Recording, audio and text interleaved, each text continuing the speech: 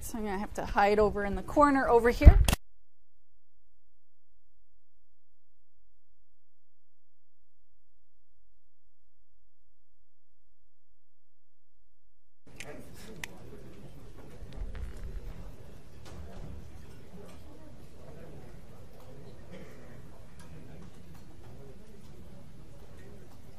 Okay, great. So let's get started. So, as we talked about last time, um,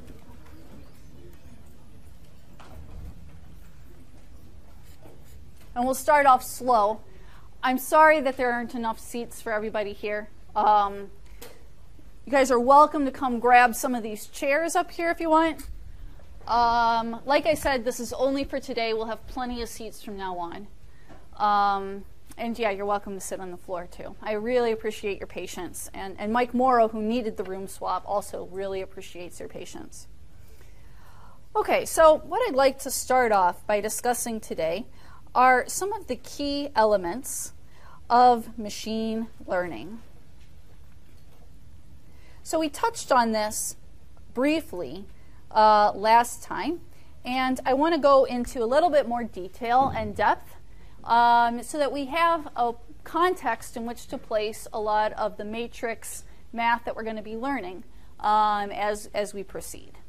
And so to describe this, I'd like to actually just start with some sort of example where we want to be able to predict whether a face,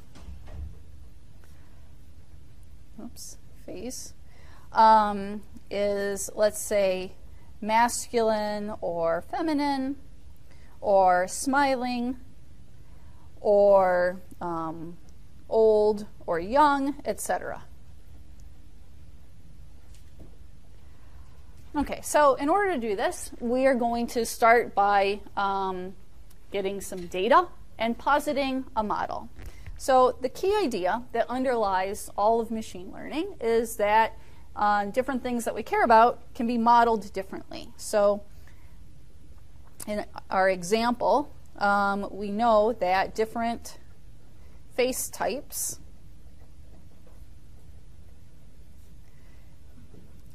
have different models. And when I talk about a model, all I mean is some sort of mathematical description of the data. Okay. So that's one of the key elements of any kind of machine learning system. Does that look blurry? Looks a little blurry. I don't know if that's any better. Okay, so then ultimately, what we want to do is find some model that's going to help us determine whether a face is male or female, or smiling, or old or young, etc. Okay, so what do we do? So, first, we collect data. And this would be, for instance, photographs with faces in them.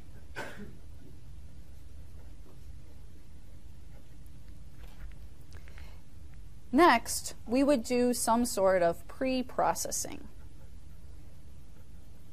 And what I mean by this is that we are going to somehow change the data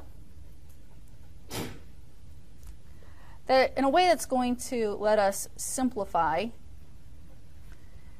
all of our subsequent tasks.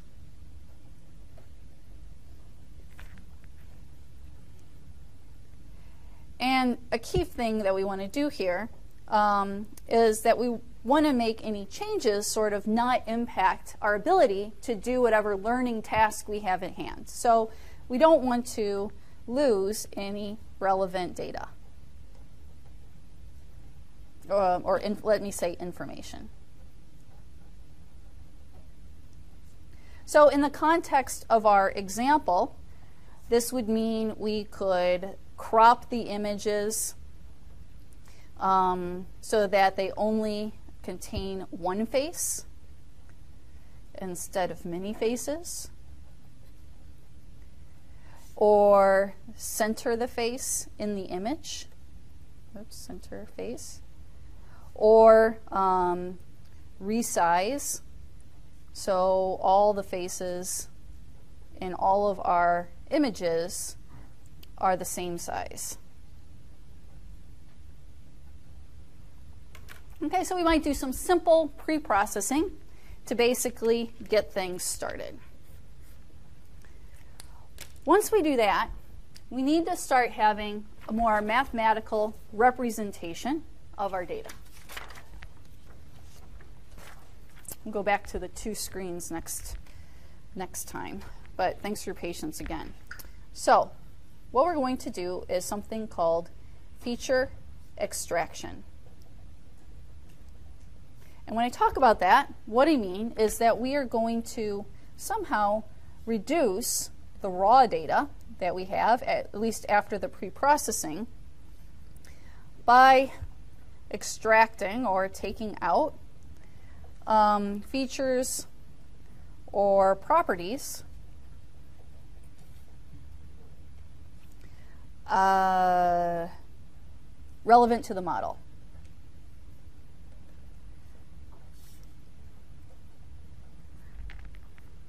Okay, so for instance, if we had a human face here, then, and then there was like an eye and another eye and some sort of, of nose. Okay, this is not going to be pretty.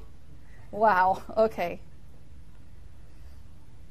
All right, and then maybe some hair and some eyebrows.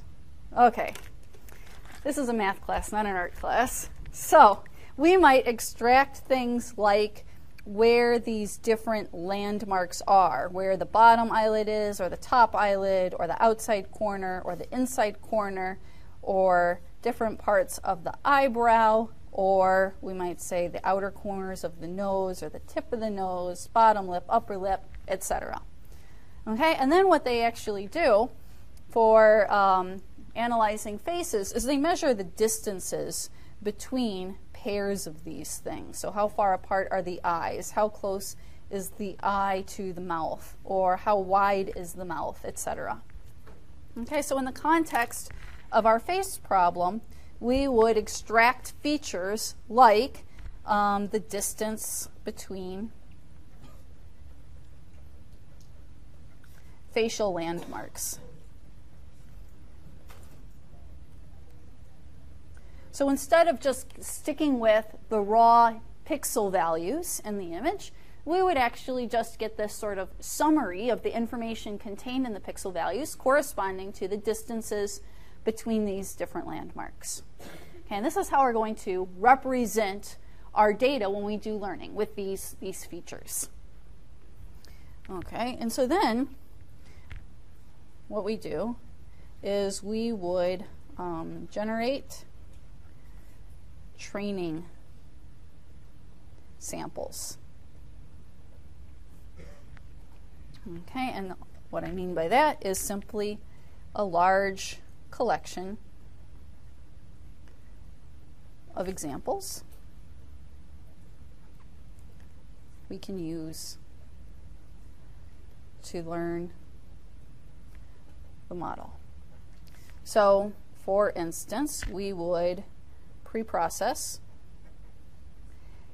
and extract features.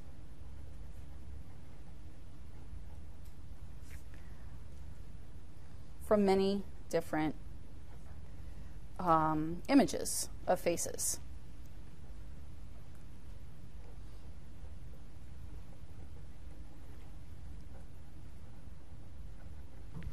Okay, so we have extracted features and we have generated a training set of data that we can then use in order to actually get down to business and do some learning.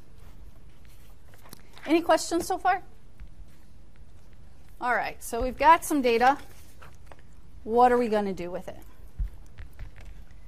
So, first thing we need to do is have some way of measuring how well any kind of learning scheme is working.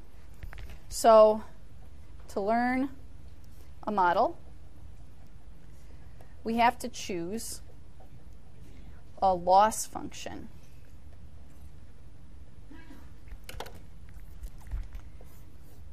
And this is just, like I said, a measure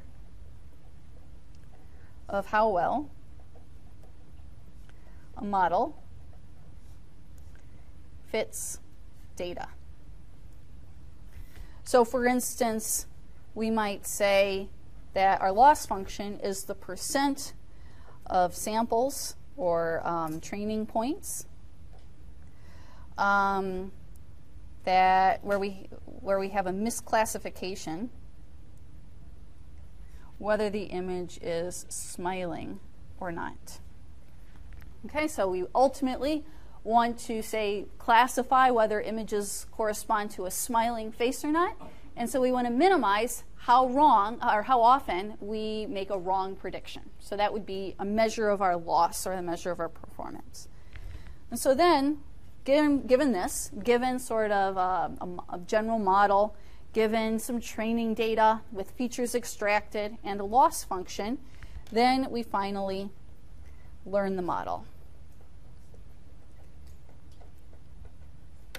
And that's really going to be the main focus of this class. And what I mean by it is that we, what we're going to do, either explicitly or implicitly, is we're going to do a search over a collection of candidate models or let's say model parameters to find whichever one will minimize our loss.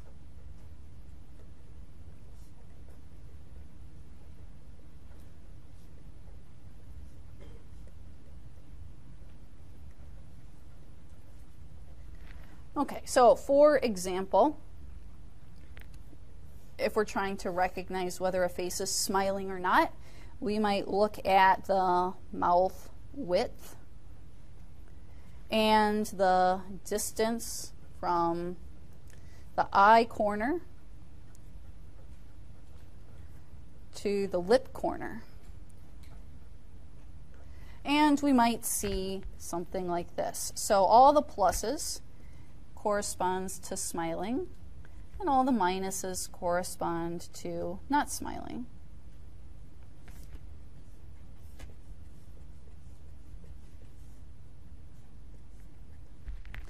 Okay, so when I talk about learning the model, we might say, well, I want to come up with some straight line that hopefully is going to um, separate these as well as possible. And so I might, for instance, do this. So this might be a learned model from this training data. So this would be a training sample. And this particular one was misclassified. So when we generated our training set, this was actually one of a person smiling.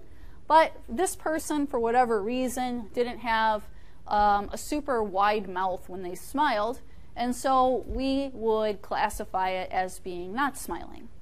And so that's going to add to our loss, but for the most part, we get it right with this particular classifier. And so we've got a low, though not zero, loss. Does that make sense? Now, in the specific example that we're talking about here, where we're just trying to classify whether someone is, say, smiling or not smiling, then we would also call this the decision boundary. So, something that separates positive examples from negative examples. Okay, so let me show you what I mean. So this is something that I think many of you have probably seen before. Um, it is an app called FaceApp. Let's see how well I can do this. How many of you seen have seen FaceApp before? Oh, excellent. Okay, well this should be a lot of fun for you. So, I'm offline. Why am I offline?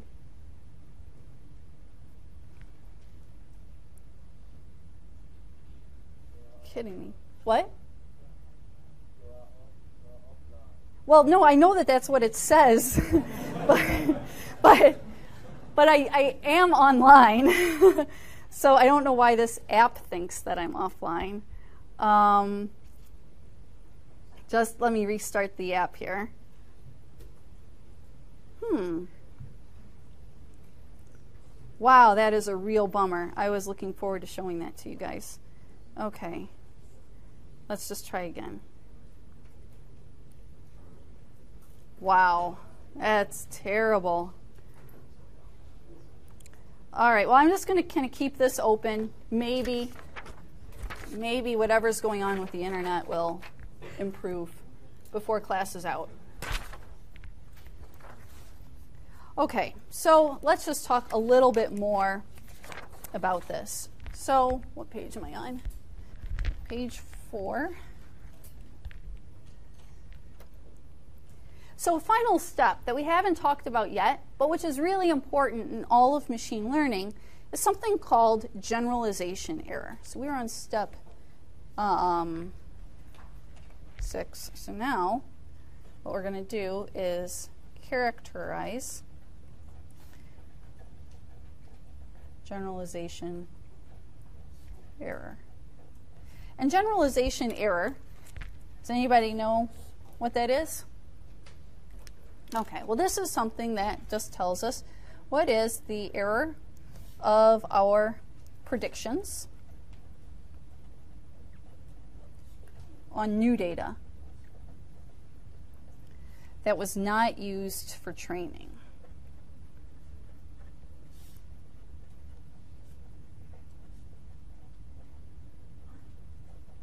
So let me actually give you um,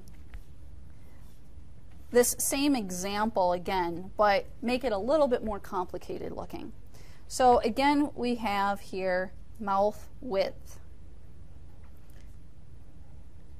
And um, the distance from the eye to the mouth, let's say, just as a shorthand. And now imagine that we have a more complicated looking, oops, set of training data.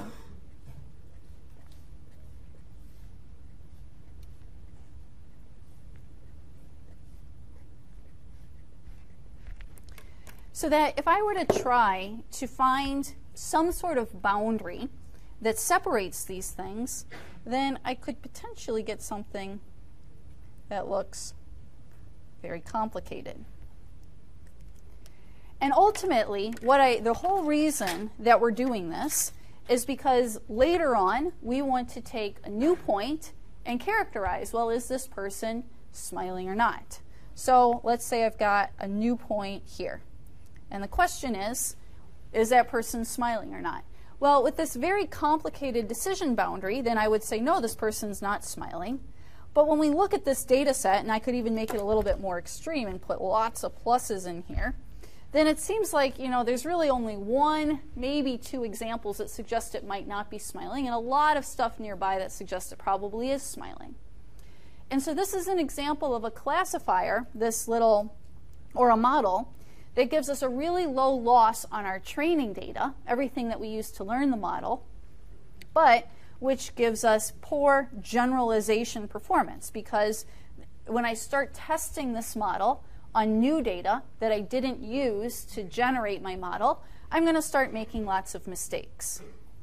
And so what I want to do is I want to consider some alternatives. So one would be to say just go with a straight line like we did, and then I'm going to maybe have some more error when I or, or loss when I look at my training data, but maybe I'll do a little bit better when it comes to this generalization error. Okay, let me just see if somehow I am online again.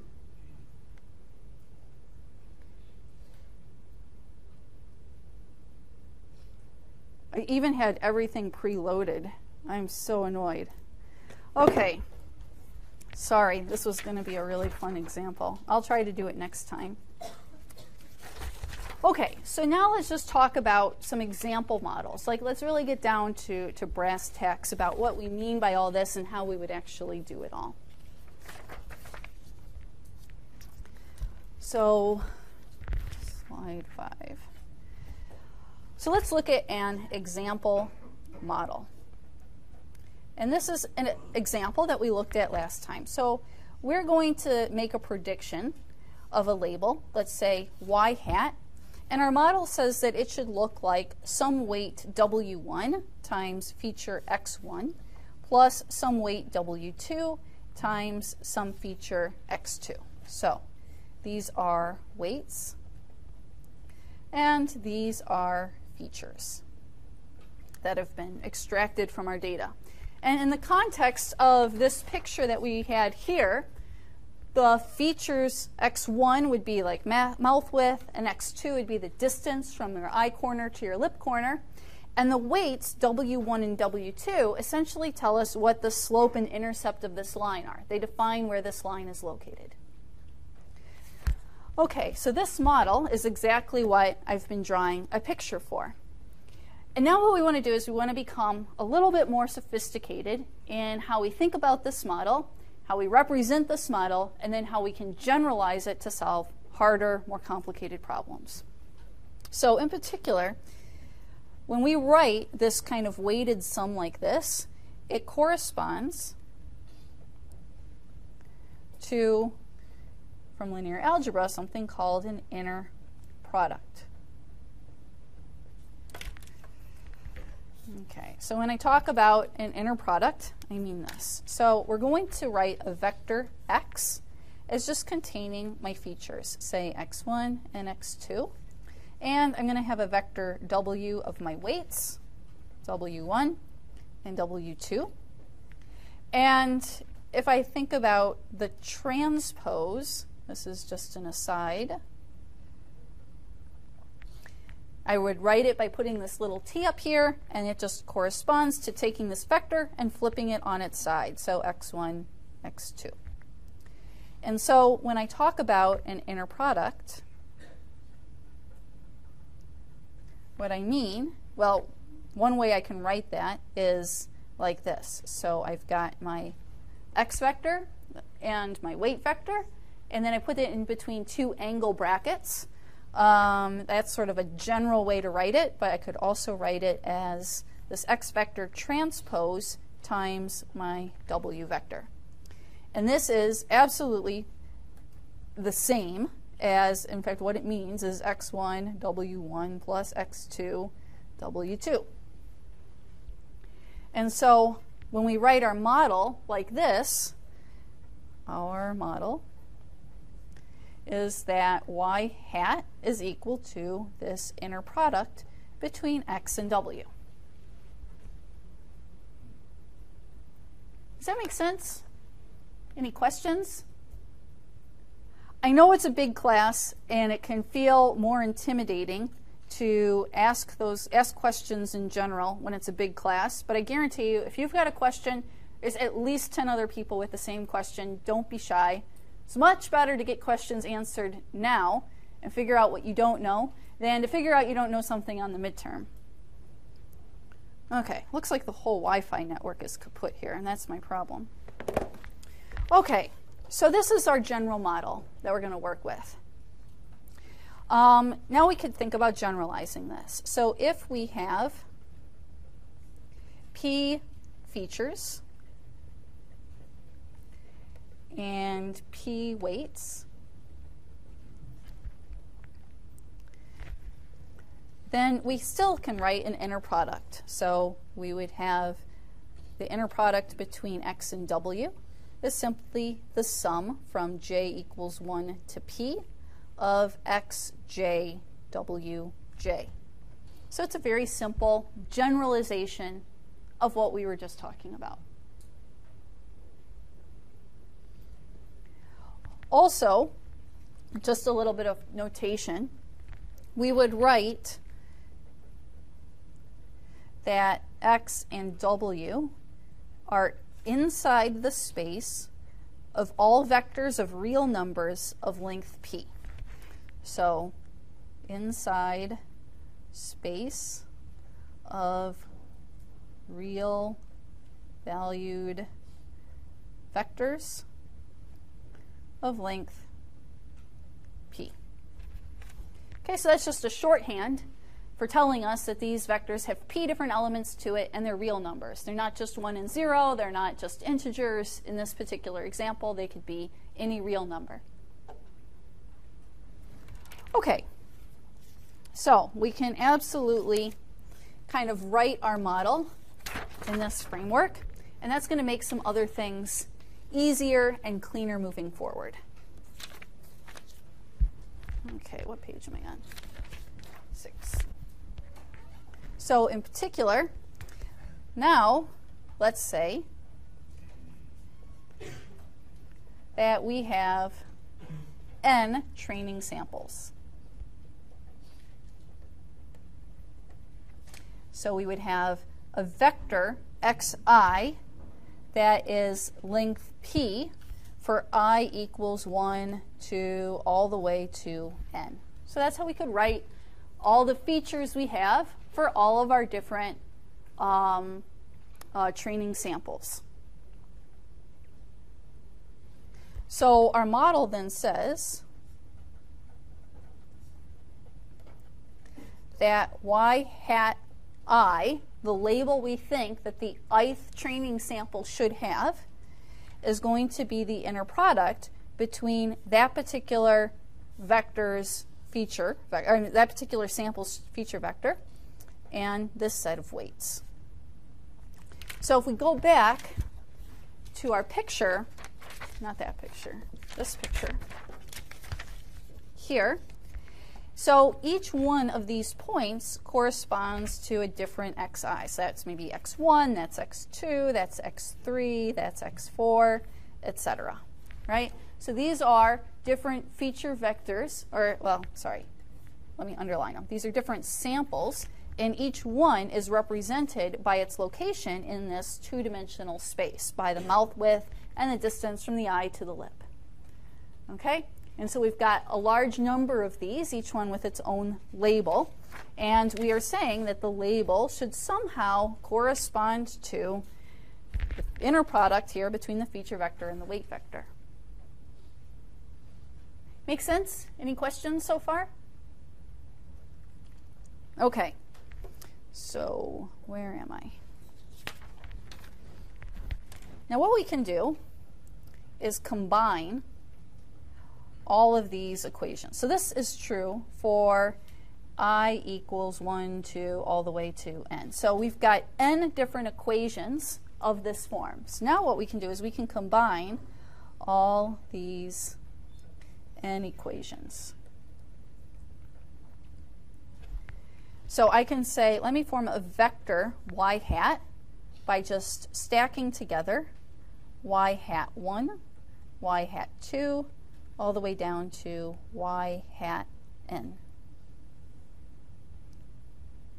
And then I'm going to say the following.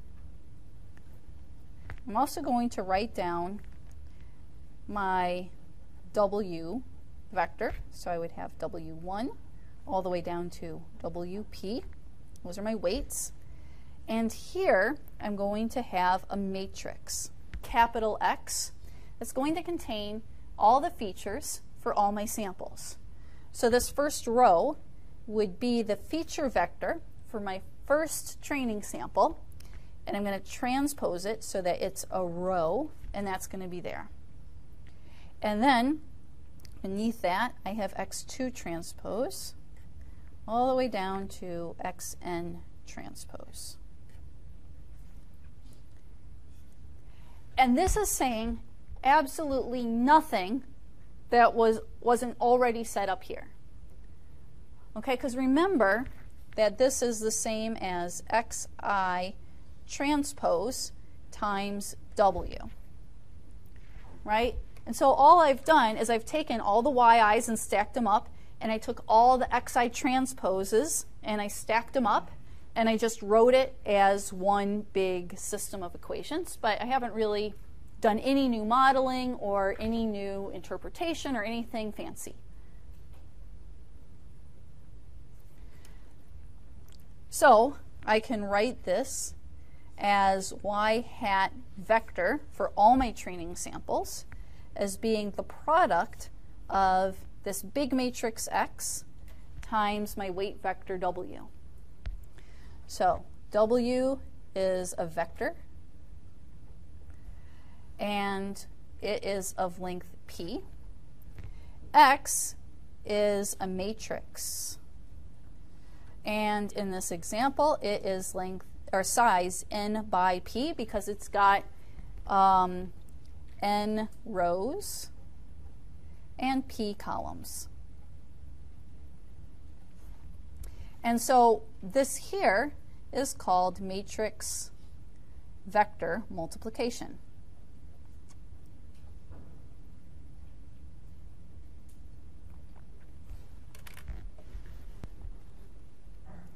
So let's just step back for a second because what we said, now I've lost, there we go. What we said was that we wanted to take a bunch of training samples and we wanted to learn some sort of model, say some sort of line that would let us separate the positive from the negative examples. And we drew a picture like this, but it's not really clear what the best line is, or if we had millions of samples and maybe thousands of features, how we would go about calculating what the best weights were. And so what we've done now is we've taken this general intuition and written it in terms of matri um, matrices and vectors. So again, this is the same idea as we've been talking about all along. Only now we're saying we want to model all the labels as being the product of this big matrix that contains all of our features for all of our training samples and some weights W.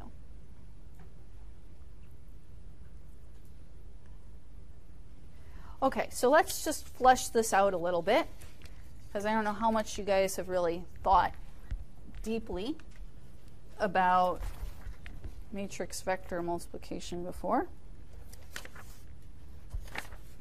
And also, okay, found the clock.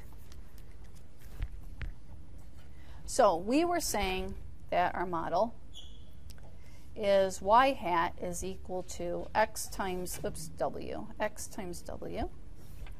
And computing xw means taking the inner product of each row of x with w. And then storing the results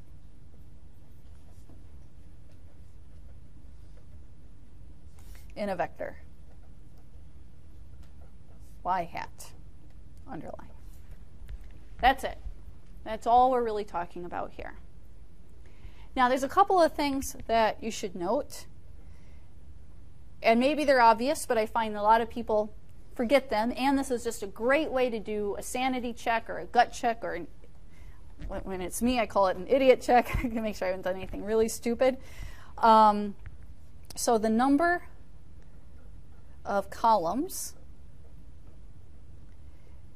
in X has to be equal to the length of what? So when we talk about this particular model up here, then the number of columns in X has to correspond to what? The length of W. Right. Because the number of columns in X, if we, draw, if we go back to this picture here, the number of columns in X corresponds to the length of these feature vectors. So in order to take this inner product, then this vector here and this row have to have the same number of elements. And likewise, the number of rows in X has to equal the length of what? Y. Exactly right. Okay, so whenever things are going badly or don't make sense, you can always kind of go back to that and at least make sure you're not doing anything, um, setting up anything incorrectly. Okay, so let's look at an example.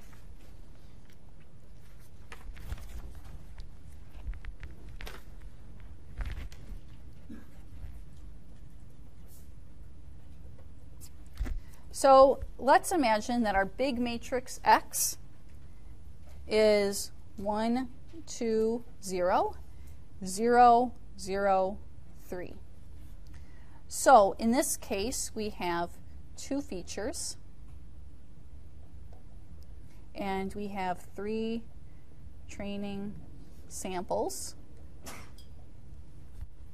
So the first sample is equal to 2 and 0, for instance. Or, I'm sorry, 1, one and 0. And then imagine that our weight vector is equal to 2, 4. So if we were to try to compute x times w, then the first entry is the inner product of this vector, the first row of x, and w, which in this case is what?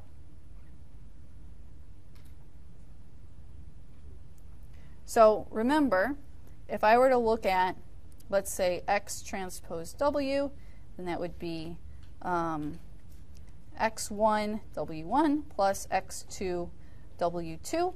So if I were to look at the inner product of this first row of x and w, it would be 1 times 2 plus 0 times 4, which just gives me 2, right? And then for the second entry in this product, I would look at the inner product of 2, 0 with 2, 4. So I have 2 times 2 plus 0 times 4, or uh, just 4. And then finally, for the third entry, we have the inner product of the third row with w. So 0 times 2 plus 3 times 4, or 12. And so that's our matrix vector product. So that's one way to think about what's going on here. Um, but let me just offer you another perspective, which is this. Um, the product xw gives us a weighted sum of the columns of x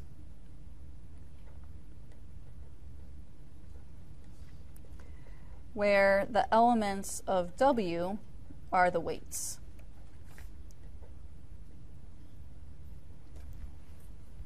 Let's zoom out a little bit. Okay. So in particular, when we look at XW, we've got the first weight 2 times the first column of X. Oh, that confuses things. So times 1, 2, 0, plus the second weight 4 times the second column of x, 0, 0, 3. And so that would be 2, 4, 0 plus 0, 0, um, I'm sorry, 12, which is just 2, 4, 12, which is exactly the same as before. And so remember that each column is a, corresponds to a different feature. So for instance, this column corresponds to mouth width, and this column corresponds to the distance from your eye to the corner of your mouth. And we want to know, well, how important are these two different features for predicting whether someone is smiling? And the weight is telling us how important it is. So we've assigned a lot of importance to the distance from the eye to the mouth corner and a relatively small weight to how wide the mouth is. So these are telling us how we should add up these different features for all people and how important those different features are to one another. Okay, so both of these are totally equivalent ways to think about matrix vector multiplication. Um, the mechanics of it are not hard. I'm not going to have you do any homeworks even where you're just computing these things by hand. But the interpretation and the understanding of what it means, especially in sort of a machine learning context, are what are really important, what I really want you to think about. So is it kind of clear what, how all of this relates to a machine learning model? Are there any questions? Okay, great. So let me give you another slightly more complicated example.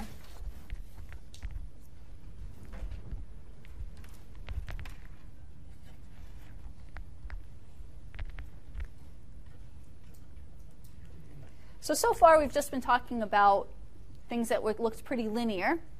Here, I want to say, imagine that our model corresponds to fitting a, a, polynomial to data. So let's say that y hat for the ith sample is going to equal some weight w3 times xi cubed. So in this case, p, the number of features, is equal to 1. There's just one feature, say mouth width for each person, but we think there's this kind of weird relationship that's polynomial. So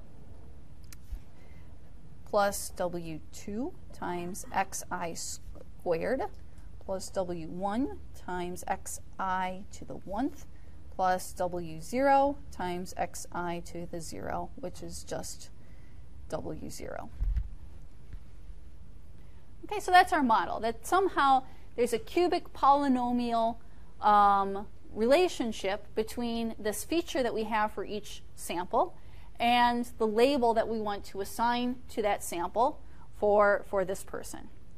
And so one thing that you might do is you might say, well, let me take a whole bunch of training samples for i equals 1 to n, take a whole bunch of examples, and try to figure out what are the values of these polynomial coefficients. And that might, on the surface, sound kind of difficult, but it turns out that it fits in exactly with everything that we've been talking about so far. So first let me just draw a little picture. So imagine that we've got some feature x and some label y hat and we think that it should it looks something like this for instance that's the relationship between x and y hat and exactly what this curve looks like depends on these different polynomial coefficients and we want to figure out, well, what are those polynomial coefficients? How do I describe that polynomial? So we can write this model using the same matrix vector framework that we've been talking about all along. So just like before, I form a vector y hat as y hat 1, y hat 2, all the way down to y hat n. So I get n different samples along this curve, for instance, and I want to figure out what are the parameters of that curve. And I'm going to write this, uh, I'm going to scooch it down a little bit, as a big matrix X times a weight matrix W3, or weight vector W2, W1, and W0. And in this matrix, I'm going to fill in the different um, uh, polynomials that I, that I have here. So I would have x1 cubed, x1 squared, x1, and 1. And then I'd have x2 cubed, x2 squared, x2, and 1. All the way down to xn cubed, cubed, xn squared, xn 1. And so I can write this polynomial model using a very simple matrix vector multiplication setup. And you can see that this matrix is some structure because if I were to take this column and just square every entry, I get the next column, etc. So this is called something called a van der Mond matrix which is helpful because, for instance, if you're working in MATLAB or want to um, just, you know, we'll, we'll come to it later, but it's helpful to know that this particular frame or, or form of a matrix is called a van der matrix. Okay, so there's lots of different things you can represent with this. And what I want to do next is actually go through a demonstration of these ideas in MATLAB so you can kind of see these things in action. First, let me see if I've got, before I kind of switch over to the computer, see if I can get onto the internet here. Just a quick second.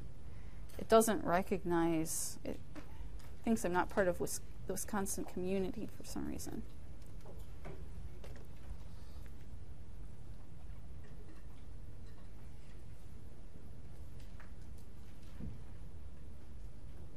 Maybe they have different routers in this part of the building or something. I don't know.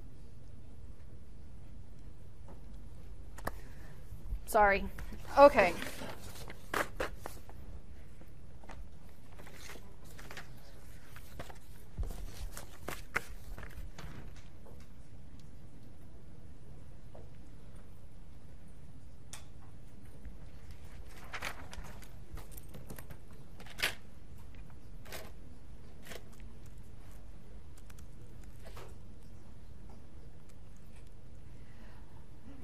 So for this class, um, you can use whatever software you want. You don't have to use MATLAB, though MATLAB is freely available to anyone on campus.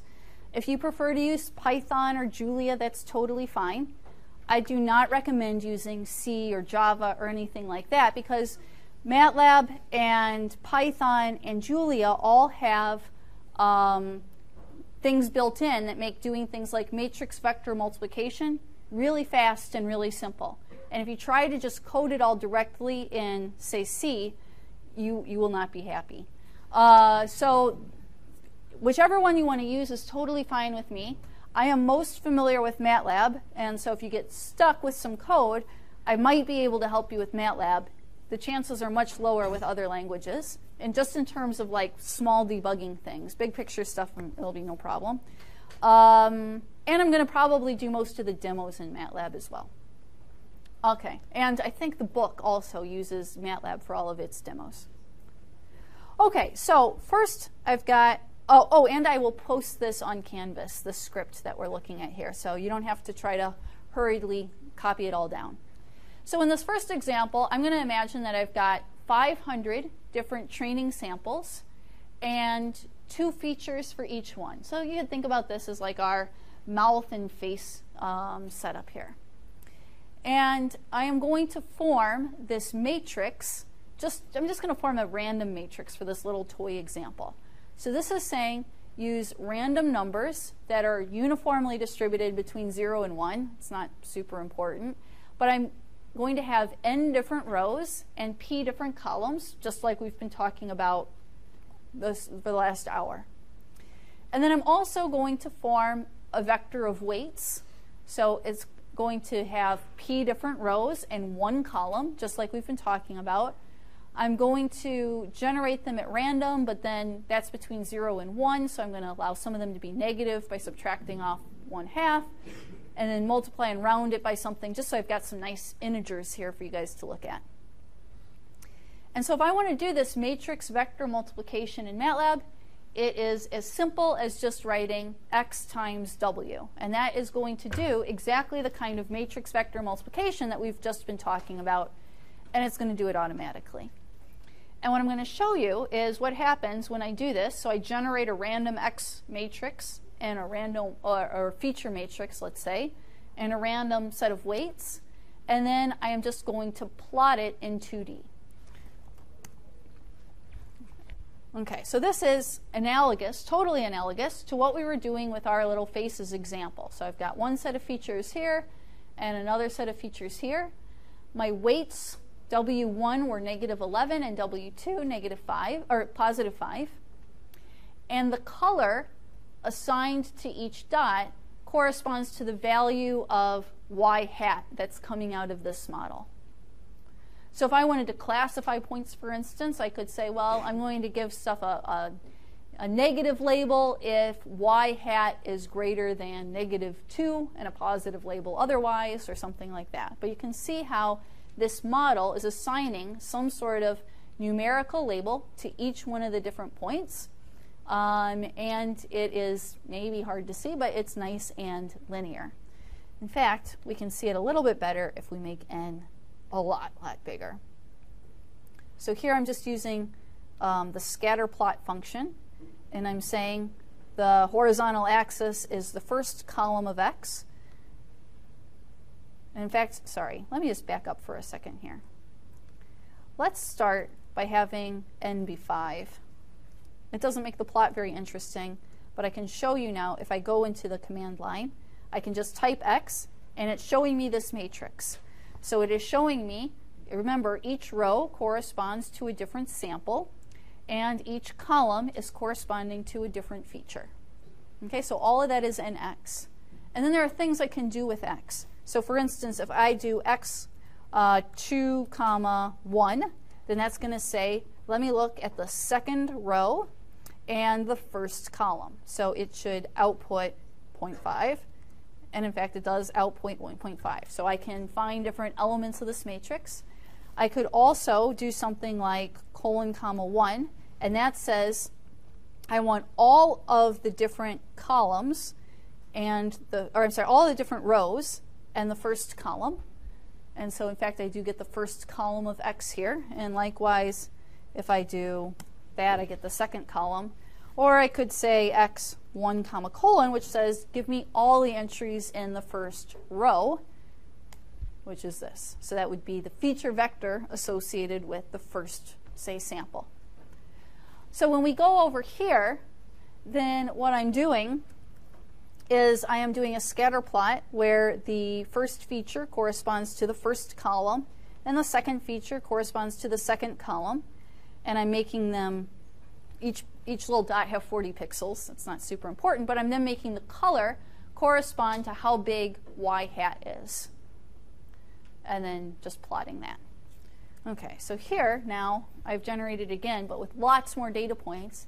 And you can kind of see how it's it's nice linear. So if I just look at one particular color, it follows a nice linear line diagonally across this. And every time I run this, I use a different, I get a different, whoops, set of weights. And that changes how the color or how the labels appear across the different samples. Does this make sense? Any questions? Okay, let me show you another example then. And this has to do with our little cubic polynomial. So now what I'm doing is I am um, generating a whole bunch of different values of little x, because remember in this case we had a single feature for each point, just some number between plus and minus 1 for instance, and I'm generating n of them. And here I'm just saying, let's, let's just make them evenly spaced between minus 1 and plus 1, and we're going to have n different samples. And then I form this Vandermonde matrix. Whoops. So in particular, let's again, let's consider this with a really small n for a second. Let's say 5. And let's actually look at what this is doing. So x now is this vector of five different numbers between plus and minus 1. And now if I were to form this Vandermonde matrix, then what it's doing is, there we go. I've got this column of ones, just like I wrote in the notes. Then I've got that vector of, of x values. Then I've got all of those values squared and all of those values cubed. Okay, so it's exactly like what we were talking about on paper. And you can see that when we talk about doing this in MATLAB, it's just super easy to form that matrix. Okay, so now we're going to actually do this with many more than five um, samples. And so now I've got p different weight, or, or four in this case, different weights that I need. One for x cubed, one for x squared, one for x, and one for the constant offset. So I'm just going to choose those at random and generate my um, predicted labels, my y hats, and then I'm going to plot that. And that shouldn't be there. And so here's one example of a curve that is represented with this matrix vector multiplication. So we've got all these different values of x's and all the values of y hat. And so even though I'm working with a, non, a polynomial, a cubic polynomial, I can represent it very easily with these sort of matrix vector ideas. And every time I run it, I just choose a different set of polynomial coefficients and I get a different curve, but they're all represented within this same general framework. Okay. That wraps up more or less what I wanted to do, except let me just try, since we've got a few minutes left, to get this, get on the internet. There's something wrong with the Wi-Fi. It was like even when I first turned this on, it was sort of flashing up there for a long time. So I don't think it's my phone. So just hang tight for a minute while it tries to get online. And if not, we'll just try again on Wednesday. For those of you who maybe stepped in a few minutes late, um, I proposed that we have the midterms on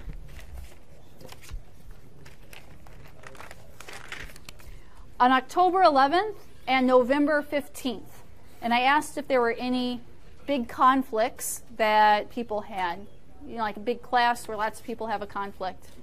I'm not seeing any reactions though, so I will get that posted and set up.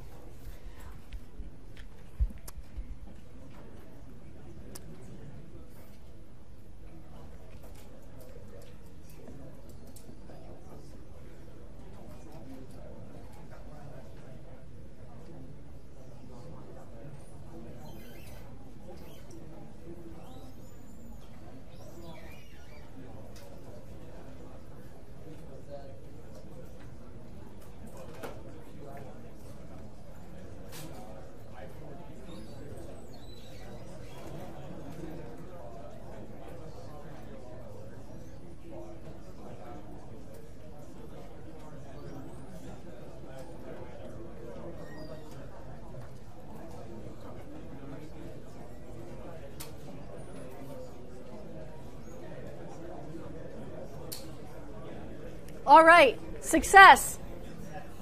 All right. So here we go. So let's say we have learned a model for what different faces, how they're different, how they're characterized. And then we want to use this to make predictions. So in my little example here, I load up a photo. Will this folk? Oh. Uh, all right, there we go. And now what I could do is I could say, well, what would this photo look like if he were smiling? And what it's doing here is it is taking information about what is characteristic of a smiling face, such as the width of the mouth or the distance from the mouth corners to the eyes, and altering those features to kind of move. If, I mean, if we think about my picture,